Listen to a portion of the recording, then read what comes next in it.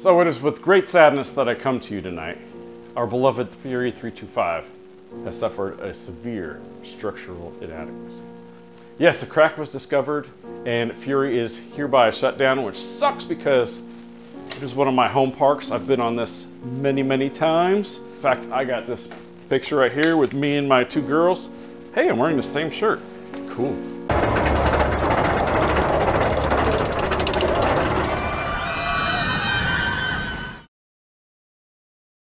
First of all, disclaimer, uh, I don't know the loads on this thing. I don't know exactly how it was engineered, so I'm gonna replicate this as best I can, but please don't use this in a court of law or anything.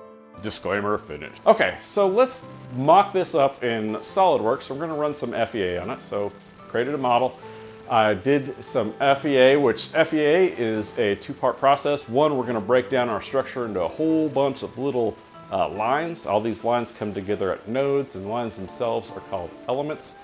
Each element acts as a very stiff spring and we can measure how much that spring will deflect through the second part where we apply loads and restraints and then we see how all those springs work together and then we can add colors to those and find out exactly how high of a stress is in each point. So the higher the stress, the worse it is.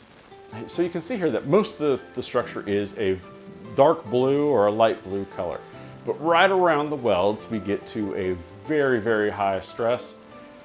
Now, since the high stress is on the inside where that weld is and the rest of it's blue, I can tell you that that crack started at that weld and worked itself all the way through that tube and fully separated off. Now, Corey, wouldn't they be able to inspect this? Yes. If you look at it though, it's a very unlikely spot to get inspected very regularly. Okay, so they may have a guy walking on top of the, the rails, uh, but if you look down, you're gonna see the support, and then below that is the weld. So you're probably not gonna readily see that. So they are required to have periodic inspections where somebody would need to get roughly within three feet of every weld on that machine and be able to inspect it. So it was probably done in the off season and uh, it's now six months later. Welds, when they start cracking, will go very slow at first and then they will go faster and faster and faster. So we learned this with the Hernando de Soto Bridge where there was no crack and then all of a sudden there's like an 18 inch, 24 inch crack in the, in the structure. All right, so why does a crack start in the first place? Well, there's two reasons for this. One, we have loads higher than expected. And the second one is we have an inadequate design. With loads higher than expected, probably isn't the case here. Uh, the train may be going slightly faster or slightly slower, varying the load, but generally speaking, we know how much. However, that may hold true with the two supports right next to it. Uh, so if this one breaks, that load is gonna get transferred now to the supports on either side, and that could be an issue. So they're gonna need to look at those supports as well, but they'll probably inspect everything. So that pretty much leaves us with the structure being inadequate. All right, and I would agree with this one.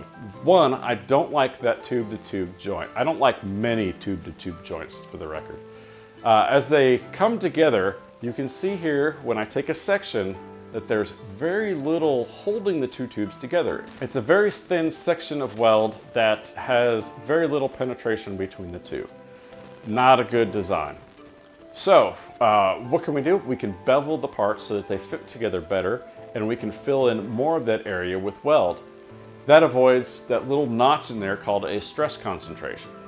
So it allows us to have a much bigger area for that stress to flow through. So second thing we can do is add more weld to that uh, just to make that throat of the weld, the, the, the thinnest part there, much bigger and take more load. So the reason I don't like this weld is because it's a category D or E weld according to an ANSI specification. Uh, this is just like uh, being in school. You got uh, A through F. A is the best joints, F is the worst, so we're at D and E. Not good, needs improvement, right? So it's difficult to change those. So adding more bevel and more weld size to this is probably the best solution for that. The last thing I don't like about this joint is difficult to explain with tubing. So let's switch it to plates. So if I have a vertical plate taking an axial load and the other plate coming in at a 45 degree angle, those forces don't balance and we end up putting bending stresses into the vertical plate. that is not a good thing. We need something to balance that force on the other side, which this joint just does not provide. So we're gonna end up with high stresses no matter what. All right, so we wanna avoid that joint as well. So that's basically why this is happening. We could probably dive a lot deeper into this, but let's focus on the four things that need to improve going forward. So the first thing we need to do is bevel that tube end so that we can get a lot more penetration and get a better weld in there.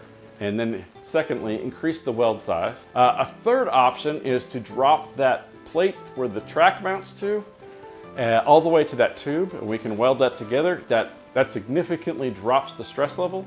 Finally, we could add some other gussets in there too to make it work better. So that's a great future state, but how do we get there? Well, so for right now, the ride is shut down and I don't anticipate that changing anytime soon.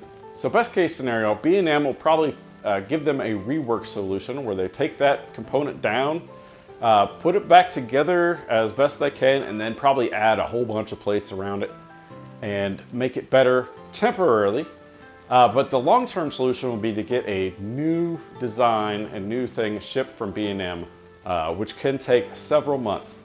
So right now, I think we're gonna be down for the foreseeable future, probably into the off season, and then we'll see it open up probably in March or so of next year. So that sucks for me because I'm probably not gonna go back to Carowinds if uh, Fury's down. So let's hope they get a solution very quickly. So when you're done crying for your loss, please take a second to like, share, and subscribe and follow the Mentored Engineer. Thank you for watching. Have a good night.